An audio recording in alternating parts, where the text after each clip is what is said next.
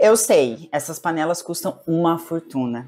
E aí vem aquela dúvida: será que vale a pena o investimento? Meu nome é Thalita Perosa, eu sou nutricionista e principalmente cozinheira. E nesse vídeo eu vou te contar a minha experiência com dois anos de uso das Marble da Neofan, a linha Marble da Neofan. Sim, as panelas estão de aniversário. Parabéns para você. Sim, as panelas estão de aniversário, dois anos. Antes de mais nada, eu já te adianto que se você quiser comprar essas panelas, eu vou deixar o link delas aqui na descrição do vídeo. E comprando pelo meu link, você me ajuda a continuar produzindo conteúdos como este aqui. Ai, Thalita, mas você só vai falar bem dessas panelas porque você quer vender e ganhar comissão. Não, não é verdade, tá? Inclusive, tem vídeo meu aqui no canal falando mal da Flavor Store da Polishop. Vou deixar o card aqui para quem quiser assistir. Então deixa de ser chato e bora pro vídeo. Antes de mais nada, essas panelas são revestidas com três camadas de cerâmica, tá? E se você quiser saber mais sobre o revestimento, é do que elas são feitas, tem videozinho aqui no canal já, vou deixar o card aqui para vocês clicarem lá. E, gente, lembrando, tá, que eu cozinho todos os dias. Eu uso essas panelas no almoço e no jantar.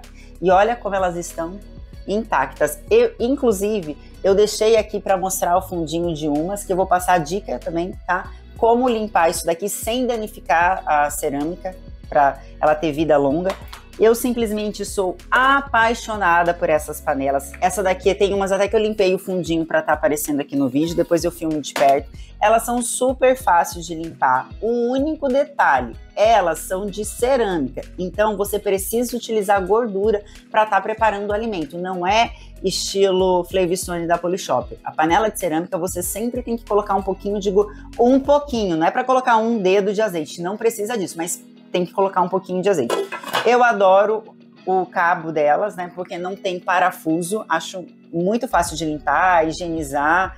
E olha só, aqui depois eu vou filmar bem de pertinho.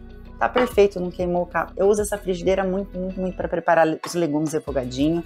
Essa daqui, ela cabe desde um ensopado, um peixe, é, uma muqueca, atende. Essa daqui eu utilizo para o arroz. Olha só, todo santo dia. Olha, essa eu limpei, tá? Pra estar tá mostrando aqui pra vocês o fundinho. Vou dar a dica de como higienizar isso daqui. Essa daqui para feijão, aqui eu faço bife, às vezes faço os legumes, ó, que eu uso bastante essa daqui. Por dentro elas estão perfeitas. E eu trouxe também essa daqui, que é um grill, que quando eu quero fazer um hambúrguer, ela não vem no jogo, tá? Essa daqui não vem no jogo, só como eu tô fazendo review de dois anos, então achei melhor já trazer aqui para vocês dessa daqui. Eu uso para preparar hambúrguer, para quando eu quero fazer um bife mais, dar uma selada, um bife mais alto, com um corte, né, mais alto. Gosto bastante dessa daqui, mas principalmente para hambúrguer, tá? Todas vêm com tampa e a tampa dessa daqui a gente usa na frigideira. A tampa é super fácil de higienizar, tá? Só tem um, um arrebite aqui. O ponto Assim, não é nem ponto.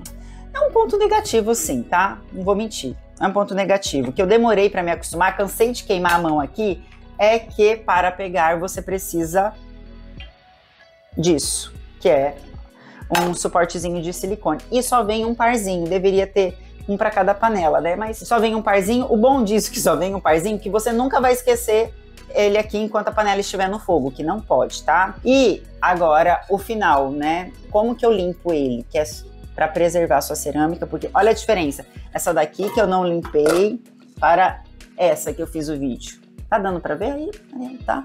Então, tá bem sujinho, né? Tem tipo um queimadinho ali. Isso aqui, se você lava, lavar somente com detergente, não vai sair. O segredo, olha, tô falando para você, né, que eu sou cozinheira. O segredo é você deixa, vira, tá?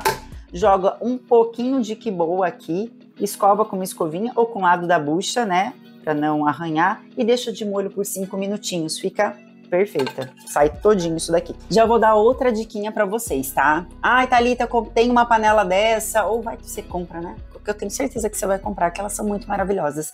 É, esqueci minha panela no fogo, fui fazer tal coisa, não sei, me perdi, queimou o fundo da minha panela jamais, jamais, em hipótese alguma, passe a bucha, ah, o lado verde que risca, ou não venha com nenhuma colher, garfo, espátula, nada. Deixa de molho, tá bom? Vinagre, um pouquinho de detergente até soltar. Você pode até dar uma fervidinha em fogo baixo, que a gente não precisa utilizar fogo alto para essa panela, né? Falo isso no outro vídeo. Fogo baixo, deixa dar uma soltadinha. E depois, ficou resquício ainda de queimado? que, que você me faz? Coloca aqui boa. Ela tira toda. Eu fiz isso daqui até. Essa daqui, como eu uso bastante, ela sempre dá uma queimadinha. Eu gosto de legumes tostadinho. É só você deixar de molho com que boa. Cinco minutinhos aqui, passa que boa, deixa aqui, pronto. Aí essa que boa pra gente, né? Esse, esse, canal também é sobre economia, tá? A gente fala panela cara, mas a gente já lança uma economia também aqui, tá? É, aí aqui boa, você não vai jogar no ralo da pia, né? Já guarda ali para colocar num pano de prato e tá tudo certo, tá? Se você gostou desse vídeo, não deixa de me seguir, dá um like, aproveita e já me segue no Instagram. Eu tô todo santo dia lá dando dicas, abrindo a caixinha de pergunta, respondendo vocês. Se você tem essas panelas, deixa aqui nos comentários, assim a gente se ajuda, né? E não deixe de compartilhar com uma amiga que tá querendo comprar uma panela, assim você, assim o canal só cresce, né? E eu vou deixar o link aqui, tá? Das panelas e desta frigideira desse grill aqui também para vocês, tá? É isso, um beijo e até o próximo vídeo.